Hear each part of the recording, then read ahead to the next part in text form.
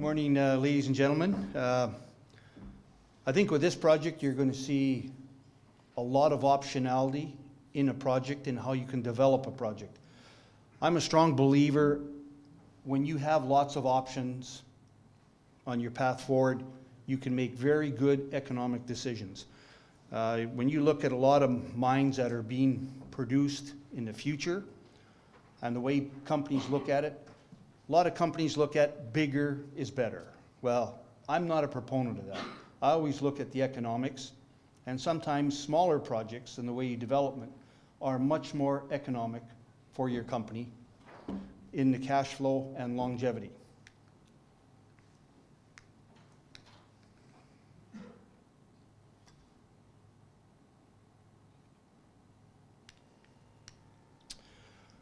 Uh, Gold Reach, we're located in uh, west central British Columbia. We have, we're in an area of great infrastructure. It's not a remote area. Uh, we're right next to a producing mine, which I will focus on later as we go through it. Uh, jurisdiction, I agree with a lot of the speakers here. Jurisdiction is very important. As you see things that have happened uh, in the world, uh, I know firsthand about juris jurisdictional risk. I've been through three revolutions myself. Uh, so they do add up. Having a team to go forward is very, uh, very valuable because if you don't have a team, you're not going to go anywhere. With the Ootsa project, you know, there's a phenomenal amount of work that has been completed, 144 kilometers of drilling, and over $25 million spent. Uh, excellent infrastructure as you're going to see, and also uh, strong First Nation support. Okay, let's talk about jurisdiction. You know, let's talk about permitting. Everybody says, okay, yes, very favorable for permitting. They have timelines and that. Well, I agree. You know, over a year ago, there was a tailings dam uh, failure in British Columbia spooked the market big time. A lot of markets said you're never going to permit another mine in British Columbia. Well, here's the facts. Since that tailings dam spill, all these projects have been permitted in British Columbia. Those are the facts. You can't argue that. Share structure, we're a tightly held company. Sometimes you know, it's almost like we're a, a private shell company. 41 million shares outstanding. Uh, we're very tightly held, sometimes too tightly held, with 74% being held by directors, officers, and close associates.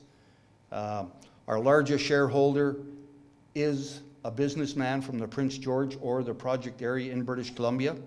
And uh, we have quite a few strong individuals like that to continue to support this company as we go through. The Utsita project is a polymetallic porphyry copper deposit. Copper is the number one element, so that's basically how we're going to uh, approach the scenarios we go forward. Now, like I said, 144 kilometers of drilling, $25 million spent.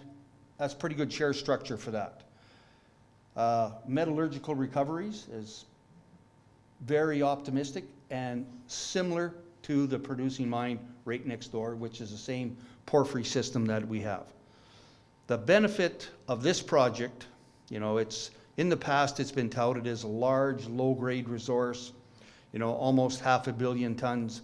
Well, when I started, and the reason that Gold Reach brought me on was to look at it, refocus it. The high-grade core starts right at surface. Do we have a project that is even economic at today's prices. As you can see, the red circles, uh, we have the two Seel deposits and the ox deposits, and that is the basis of our work that we're going forward. In September this year, we announced uh, that we're starting a preliminary economic assessment. We're, let's look back at it business-wise. We're a single asset company if the PEA is negative, it's, it could be a company killer. We took June, July, August, and September, And we did, we recalculated uh, our resource estimate because there was some drilling that wasn't included. And we did a lot of in-house engineering work, basically to the same scale as what you do in a preliminary economic assessment and can be used in the preliminary econ- economic assessment. It's in-house work. We know what our results are. Hence, we are going forward, even, even with these prices that we have today. Uh, I have given our engineers a minimum target price, which after tax is, you know, three digits, and our IRRs with respectable ranges.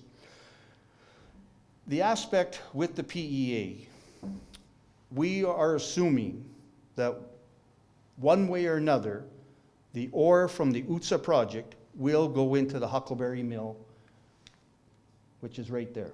The Huckleberry Mill has been in production for 17 years. All the electricity's there, the workforce is there, the mill is there, the tailings facilities are there for what they have in their operation. It's a mine life, and uh, you can look at the public information. It has a limited mine life with a pretty substantial closure cost. I'm sure those closure costs would like to be deferred. And let's face it, you know, transaction wise, we're assuming that a transaction may happen, maybe from the Huckleberry side towards Gold Reach or from the Gold Reach side towards us. There are numerous discussions that are, that are going on at this time. Uh, possibilities here are endless. Worst case scenarios, if, if the mine shuts down, you could buy it as what we've seen in the previous company here. You buy the mill and infrastructure, five or 10 cents on the dollar. No need to spend $400 million to buy a brand new mill.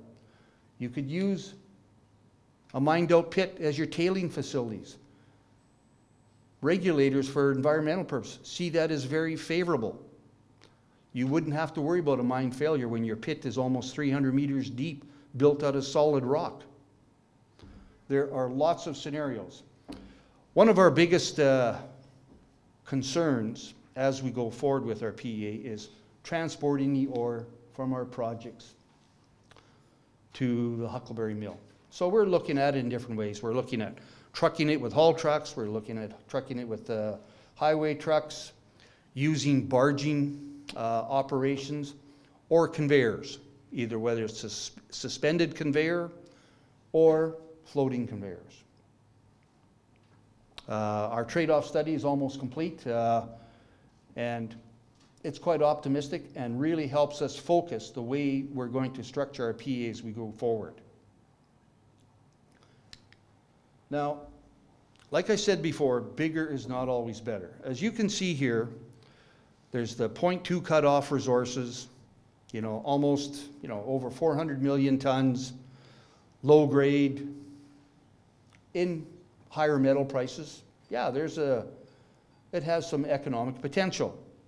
But in today's world, and let's, you know, my focus is we're going to look at the 0.4 cutoff material where you can see the copper grade by itself is equivalent to producing mines that are in production in British Columbia and making money, making a profit.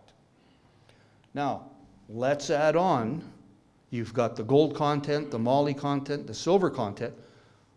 We're approaching, you know, close to half a percent copper equivalent, which is very optimistic. The Huckleberry mine next to us, from their public reports, you can see that they're, they're making a profit at uh, just over 0.3% copper. It Gives relevance to this. Our copper grade is, is close to theirs, but then we've got the sweetener in the, uh, you know, with the byproducts, almost 20% more value per ton. The table on the right, you can see, you know, the, the breakdown of the metal content uh, between copper, gold, moly, and silver. And if you look at using the 0.4 cutoff, you know, you're over a billion pounds of copper. Now, British Columbia deposits are lower grade when you look at the makeup of all these deposits. Everybody says when they look at your project, oh, the grades are so low. Well, I've, I've heard this comment before with gold mines. My comment is, what are you comparing it to? Well, South America, you know, they're 0.4, 0.5 or higher, stuff like that. I said, yeah, that's correct. We don't have to pump water up 4,000 meters to their mine. We have cheap power costs in British Columbia. Industrial power cost in British Columbia is four cents a kilowatt hour. You know, that's very significant. Now, when you compare the Ootsa to other producing mines or projects in British Columbia, you can see our copper grade, it's average. It's not the lowest, it's not the highest. And then you can also see it with the other metals uh, added into it. We fit the range of mines that have been producing and making money in British Columbia. Now here's the lay of the land. In the, in the forefront, you can see the flat topography of where the Ootsa is deposited. Across the other side of the valley, you can see the producing Huckleberry mine. It's been producing for 17 years. We have the, you know, the luxury of flat topography. One thing to note, the snow in this area in British Columbia, you know, it's maybe four, five, six, seven meters. It's not like some of these other projects in British Columbia where you're getting, you know, close to 20 meters of snow. This mine has been proven to work all year round. It's favorable conditions. Just another luxury that this area and this project has. So as we're going forward, you know, uh, one of the work programs that we initially started when uh, back in June, we said, okay, we're going to we're going to drill uh, 10,000 meters.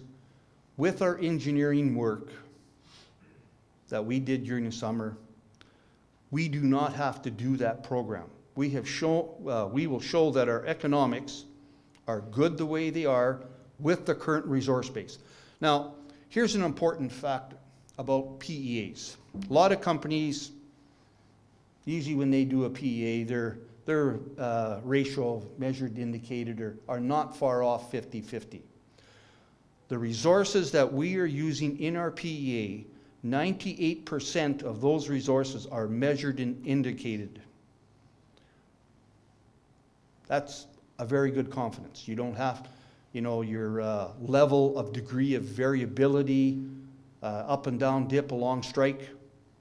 When you look at companies when they've done a PEA and then gone on to uh, feasibility studies, when your percentage of measured and indicated are at a high percentage, your feasibility results are not far off what your PEA numbers are. Now, like I said, we have a large resource base, as you can see here in the blue and the purple. In the PEA, we are only targeting those areas in those red pit shells okay? And on the left-hand diagram, you can see the different resources. The large pit, that's the global pit 0.2 cutoff. Well, what we're looking at as a PA as phase one are these smaller pits in here, focusing around somewhere between a 10 and a 15 year mine life based on the processing rates at the mill next door. You've already seen the grade. You know that the, it has 20% more value per ton than the mine next door that is making a profit, even at today's prices. Uh, unfortunately, I'd love to tell you what the number, what, what the results are going to be, but uh, can't do that until they're being released publicly. Uh, we announced that the results would be out in Q2 next year. We're targeting to push that if we can because a lot of the in-house engineering work that we did this past summer can be used directly in that PEA. Now, recoveries, you can see for a porphyry copper, copper uh, deposit, you know, we have pretty good recoveries. The two pie charts on the bottom, you can see the metal distribution, two of our deposits, you know, are 45 to 55% copper, look at the gold content. You know, one has, you know, 40% gold aspect to it. Those are nice kickers. I hope everybody's right and the gold price will go up. On another one of our deposits, you can see that uh, moly starts to kick in. And, and that's uh, favorable with the, with the grades that we have for moly. Uh, I didn't point them out on the table, but, uh, you know, our, our moly grades are quite respectable as we go forward. Now, I talked about phase one in the previous diagram that we're focusing on, it, on an area of about, uh, you know, 70 to 100 million ton scenario. That as phase one. And these lines here represent the pit shells on a flat level. Now, the red and the yellow is what you have to focus on. That is the higher grade mineralization.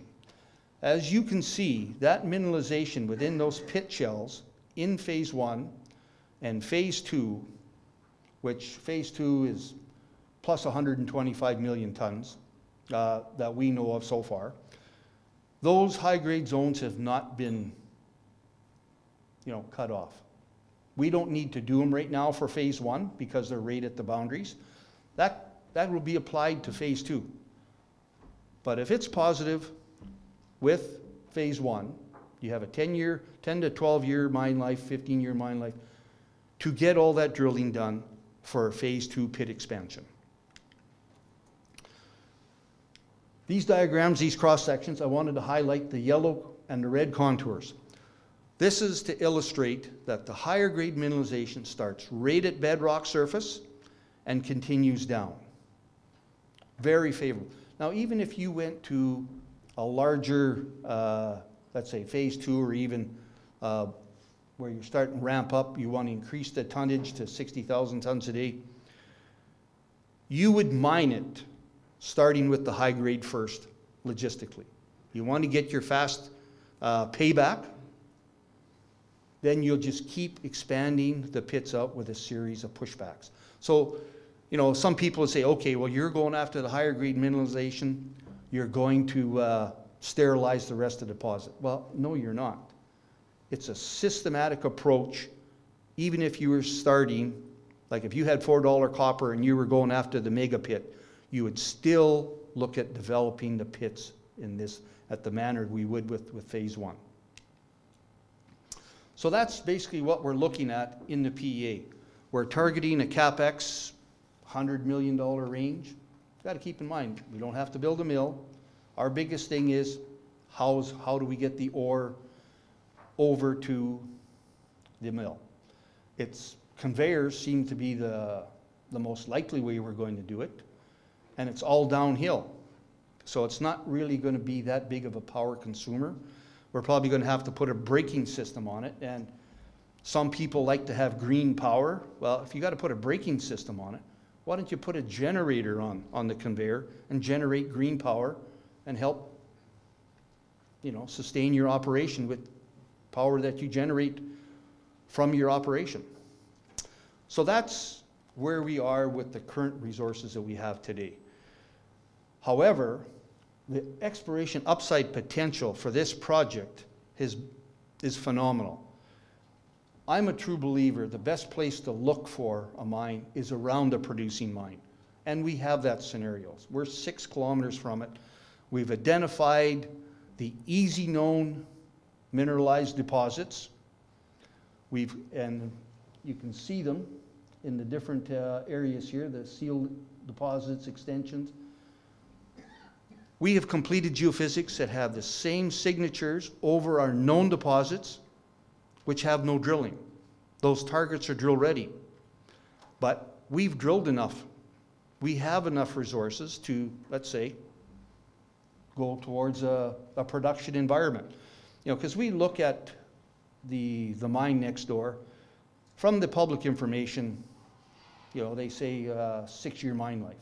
Okay, so let's look at it. We got a year to year and a half engineering work. We got two to three years worth of permitting. There's five years. Then you got six, maybe nine months worth of construction. Boy, timing is great for everybody, for all parties concerned.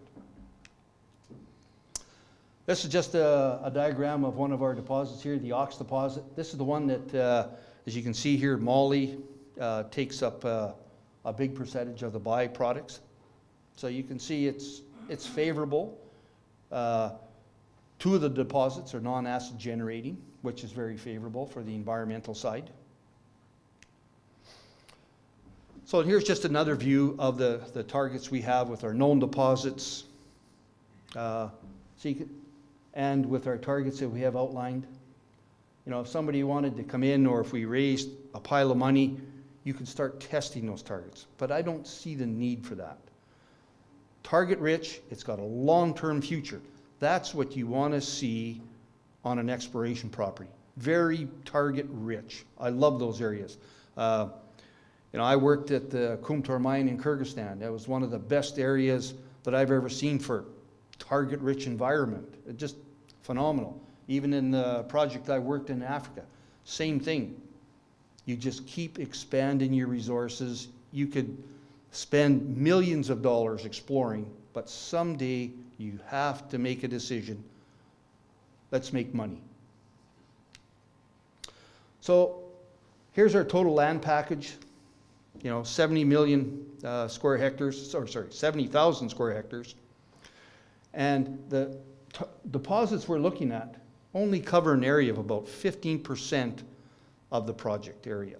So you can see how small an area that we're focusing our PEA and production aspects on. The rest is long-term future. You know, jurisdictional risk is a big thing. Uh, I've talked about it before.